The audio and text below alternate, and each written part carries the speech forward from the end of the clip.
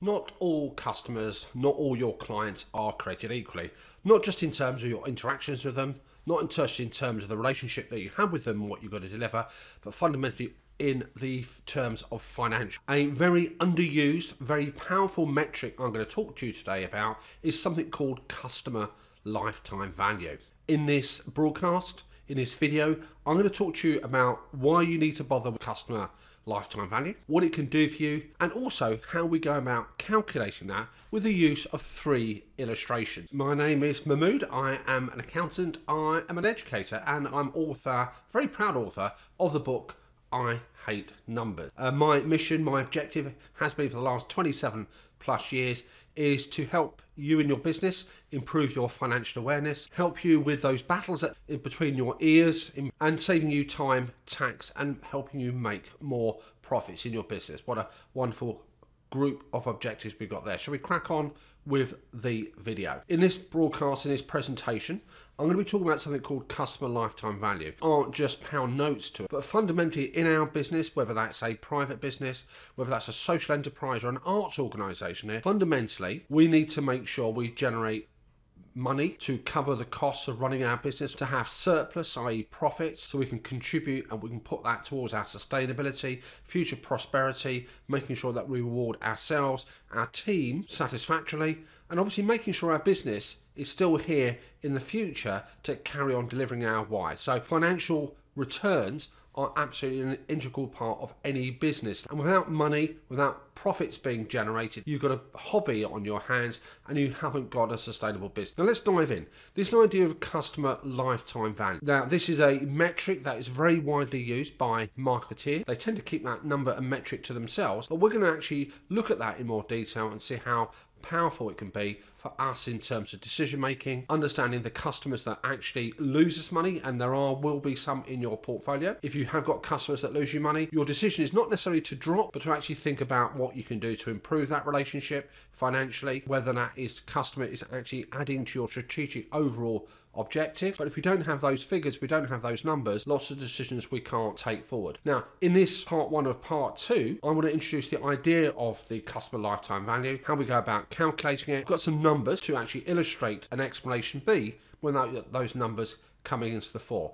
In part two, which is next week, we're going to delve deeper and expand the calculation, dive deeper in terms of how we can actually use that and see what other metrics in our toolkit we can tap into to help us with our evaluation decision making. Without further ado, folks, let's introduce the idea first of all of customer lifetime value. And again, before we go into the metric, we're going to have a look at the overall what it represents, and then we're going to discuss why it's such an important measure and also how we go about calculating it. So the whole idea behind customer lifetime value is financially we can look at the impact of a customer, of a client of an audience that we're developing, and we need to understand what that financial impact is to us. And again, that is also to see whether we're actually losing money and what we can do with that information to actually improve the situation, the decisions that we subsequently make, whether we invest whether we maintain that group. Now we have to take into account three elements first of all, and we're going to look at the customer in terms of the revenue, in terms of the sales that they generate. Ultimately, the value of the sale, the turnover, is a in my opinion a very weak metric in itself because what we're looking for ultimately is the profitability is the return is the surplus that we generate from that customer. Now we can do this at a granular level. In my experience, many people who may not have come across this metric, it starts simply and then get more sophisticated as time goes on. Assuming that we've got the data, which is really critical to collect this information, we look at the customer and we first of all identify what is it that that customer on average spends with our business. So what's the average value of that transaction? Do we know how many transactions will be entered into by that particular customer? And what we're ultimately trying to work out is annually what they're spending with us and then how long do we keep that customer for on average? Typically it's measured in years or fractions. Now that first top line gives you the overall monetary value the lifetime value of that customer. Later on in this video, I'm going to show you with some examples how that reflects itself and how we go about doing the calculation. Now the next thing from that figure above, we take the value of the revenue, the turnover, the income that that client generates over the lifetime. And then we translate that into the profitability that we generate from that customer. One example was to use what's called a profit margin. Next week, we're going to expand and look at more sophisticated ways we can calculate that measure. But again, if it's your first time of using this metric, I would start simpler and get into habits of actually doing the calculation. You can always refine and make it more sophisticated as time goes on. Now, there are three scenarios, three examples I'm going to use here obviously substitute these for your own business. Uh, and the first example is a cafe. So we've got this idea of a retailing type environment. And in this example, an arts venue has got a cafe. They've calculated they've the average customer spend in their cafe is £10. The typical customer for them visits twice a week and over a year that's 40 weeks worth of visiting and they've found out the average retention period for that customer is three years and they calculated the average gross margin they're making on the sale of refreshments cakes, coffees, teas is they're selling is 60%. The second example, to illustrate a high ticket item, is a car dealership. They sell a car every five years for 35,000. The retention for that customer is typically they have two buying cycles. They stay with the company for 10 years and they make an average gross margin of 30%. The last example is a service based organization, a company, and runs a membership. And this is the financial story planning company. The average membership they charge is £15 per month. Members typically subscribe for a period of three years, and the average gross margin they make from each member is 90%. Next week's video, we're going to go into a little bit more detail to look at alternative ways